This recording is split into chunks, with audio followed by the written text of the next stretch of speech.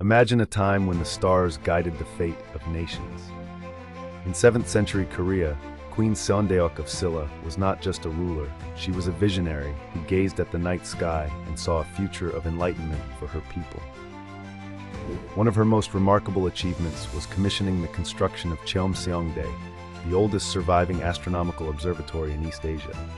Built from 362 carefully arranged stones, symbolizing the days of the lunar year, Cheomseongdae allowed scholars to study celestial patterns, predict seasonal changes, and guide agricultural cycles with newfound precision. This innovation sparked a golden age of cultural and scientific growth in Silla, encouraging learning, curiosity, and innovation throughout the kingdom.